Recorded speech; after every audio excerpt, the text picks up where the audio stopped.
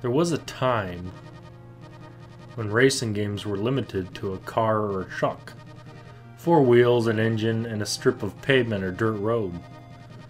While they were fun and entertaining, you were still stuck to realistic racing in realistic environments. There was a time when most gamers were satisfied, but there were a few who weren't. A few who dreamed of pushing the boundaries of what was considered racing. A few who would change and reshape the racing genre forever. A few who just happened to work for Nintendo. Considering how many racing games have been made, and how many franchises are associated with those games, if you ask any gamer, name top 3 racing franchises of all time. Most would probably say Cruis'n USA, Gran Turismo, and Need for Speed. I have a slightly different type of answer, and I know damn well there are those of you out there that agree with me. I'd say Gran Turismo, San Francisco Rush, and F Zero.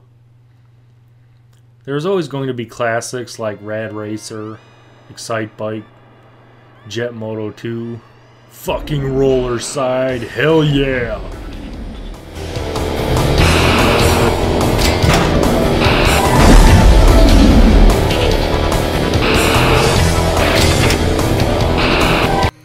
Back on track. F Zero really single handedly created the futuristic racing game. One of the seminal launch titles of the Super Nintendo here in North America, F Zero was developed by Nintendo's famed EAD, the geniuses behind Metroid and some of Nintendo's biggest franchises. Released in 1991, F Zero easily went on to become a player's choice, indicating it sold over 1 million copies and is still fun to this day. There are story elements present in the manual, but strangely in the game they're absent. Basically, in the 26th century, which means it's even further in the future than Star Trek The Next Generation, you're in a futuristic society where F Zero is the top money making event. You can choose between Grand Prix, time trial, or practice modes. It always sucked because you only have access to the night circuit in practice mode when really you needed it to practice on the Queen and King circuits. You race against three other hovercrafts across several tracks per circuit. The four available crafts are the Yellow Fox, Blue Falcon, Green Mongoose, and Fire Stingray. I always pick the Fire Stingray since it has the highest top speed, and its poor acceleration is easily negated by having another racer run into the back of you. Never before was there such a sense of extreme speed, with speeds approaching nearly 400 miles an hour, even though the gauge is in kilometers an hour. Utilization of Mode 7 graphics is tubular in this game, and really is one of the first examples to show it off. The soundtrack is incredible, and along with Mega Man X, is one of my top 5 favorite SNES selections of music. Who doesn't remember jamming out to Mute City,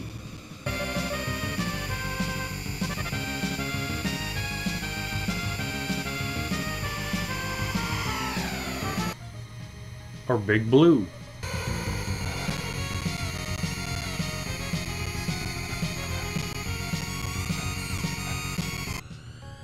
Or Port Town 2.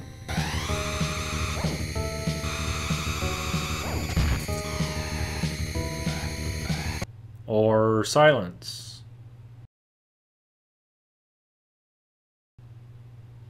Nah, Silence sucks. Fuck that.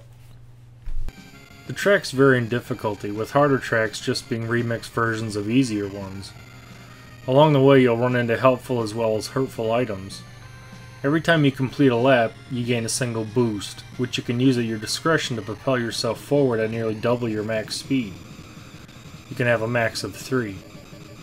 There's also speed arrows which do the same thing, jumps, spinners, gravity bars, sand, water, or what I think is supposed to be water, and lastly, drone racers.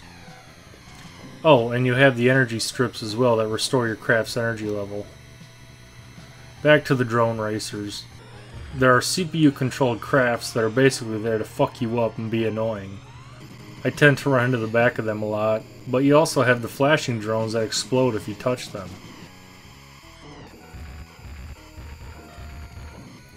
On a select few tracks, there are also shortcuts. Usually they're done by hitting a booster, then using a ramp to fly over a section of track to another spot. I have no clue if Nintendo intended them to be shortcuts, but they work nonetheless. If I can just get the fuck over there! Okay, I'm not pulling your guys' leg, this is possible. Get over there! Get over there! Alright, there we go. We made it. Probably the most well known is in Port Town 2, done by boosting over the pit to your extreme right. This was the starting point, and over the next 15 something odd years, there would be numerous releases on console and handheld systems. F Zero will always be remembered as one of the greats, especially if you grew up with the SNES. May it live forever. Thanks for watching. Go check it out.